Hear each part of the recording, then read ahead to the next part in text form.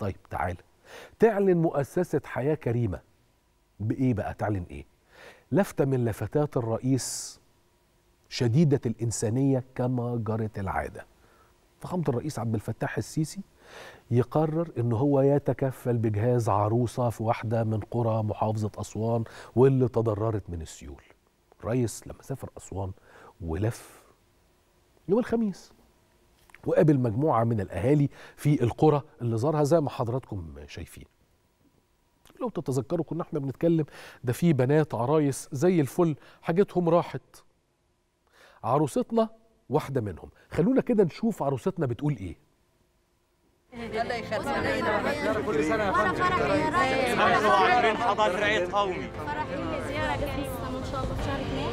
هي بيت اتهدت على الحال. الدر وقع على حاجة العروسة. إن شاء الله بإذن الله.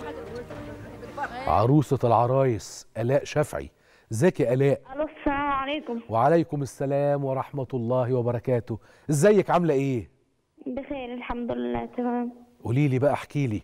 الريس أنت كنت عارفة إن الريس جاي؟ أول ما شفتيه إيه اللي حصل؟ احكي لي كده الحدوتة من أولها يا آلاء.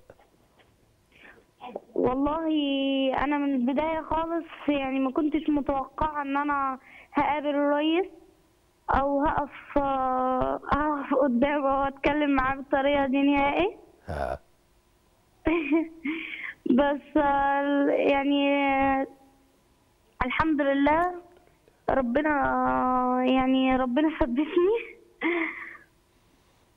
وقدرت أتكلم وأقول له واحكي له عن مشك... المشكلة اللي حصلت معايا وطلبت من حضرته إن إن حضرته يحضر معايا فرحي. ها.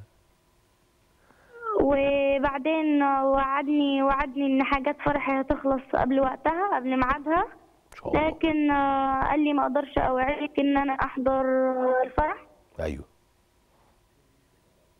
وأنا والنهاردة ومؤسسه حياة كريمة ما سابتنيش.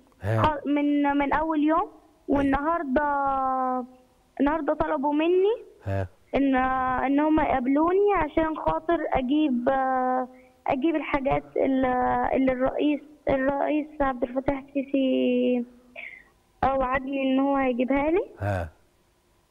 ورحت فعلا جبت جبت الحاجات. حلو. آه، والحمد لله يعني طب آلاء قولي لي بقى أنت جبتي النهارده إيه؟ جبت جبت المطبخ وجبت الأجهزة الكهربائية. كل جبتي كل الأجهزة الكهربائية بتاعتك؟ لا مش كلها. إيه اللي ناقصك؟ يعني ناقصني ناقصني التلاجة يعتبر. ماشي طيب بس كده كده الريس قال كل حاجة تجيلك. إيه اللي خلاكي أيوة، أجلتي التلاجة بقى؟ ناقصني هم قالوا لي في نسبة نسبة متاح متاحة لحضرتك. ها فالنسبة دي خلصت يعني جبت بيها اللي هي المطبخ والأجهزة ها وجبت بيها الحاجات الموجود اللي هي الحاجات دي. ف... فهي النسبة خلصت كانت. طب قولي لي والحاجات اللي انت جبتيها حاجات حلوة عجباكي يعني؟ أيوة الحمد لله هي عجباني الحمد ونقيتي لله. نقيتي اللي على مزاجك؟ أيوة الحمد لله. طيب والله حاجة كويسة خالص. بص أنا متأكد برضو يعني انه التلاجة جاية جاية. إن شاء الله. ما إحنا مش هنسيب العروسة من غير تلاجة. ده اسمه كلام يا الاء يعني. ينفع نسيب العروسة من غير تلاجة؟ مش هينفع. جبتي بوتاجاز ولا لا. هي أنا ما اتضرتش لوحدي يعني مش مش جهازي بس هو اللي اتضر. هو آه. عندي برضو في في منزل في منزلي يعني منزل والدتي ووالدي. أيوه ربنا يخليك. آه اتضر يعني البيت آه وقع. آه. فوقع برضو هم نفسهم اتضروا في أجهزة اتكسرت. وفي عفش اتكسر. طبعا. بس أنت خدتي بالك يعني الريس قال كل حاجة تتبني من أول وجديد وأحسن من الأول وتتفرش. أكيد وأنا فرحتي هتكمل إن شاء الله بإذن لما الله. لما لما حاجات آه، يعني البيت نفسه يتبني ولما الرئيس نفسه بنفسه يحضر فرحي يا رب بقى على حسب جدول الريس زي ما قال لك كده ما وعدكيش. لا والله هو جدول الرئيس هو هو يشوف الميعاد اللي يناسبه واللي يقول عليه إحنا معاه. الله يعني انت هتحددي الفرح على حسب ما. الريس هيقول لك؟ هو في الأول كنا بنقول في شهر اتنين بس دلوقتي بنقول باللي يشوف الرئيس. يا عيني يا عيني يا عيني يا عيني. حاجة تفرح والله يا الاء المهم انت مبسوطة مش كده؟ لا أنا ما هو هو فعلا والله هو أنا ما حسيتش إن أنا واقفة قدام قدام يعني إن أنا واقفة قدام رئيس جمهورية.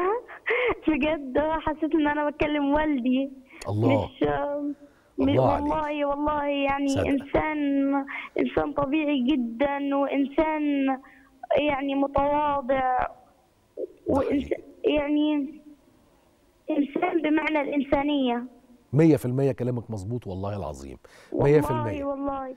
أنا بشكر فخامة الرئيس عبد الفتاح السيسي إنه لبى كل طلباتي. دايما كنت بسمع عن إنجازاته. أنا مش مصدقه نفسي إن الإنجازات وصلت ليا. طب كلنا ربنا يبارك ويبعد عنه اعداء النجاح. امين إحنا في الفرح بنزغرط ولا إيه؟ أكيد. طب بتعرفي تزغرطي ولا لأ؟ أكيد بس أنا تعبانة دلوقتي. كنت عايز أسمع زغروطة يا ألاء. طب مامتك جنبك نسمع زغروطة؟ ها؟ كل لا زغروطة علشان الجهاز.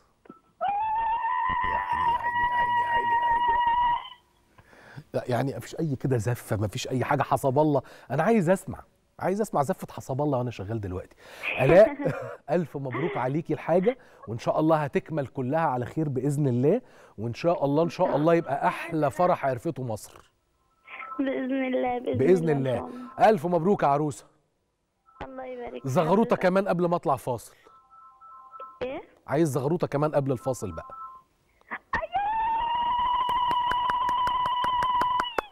الصلاه على النبي.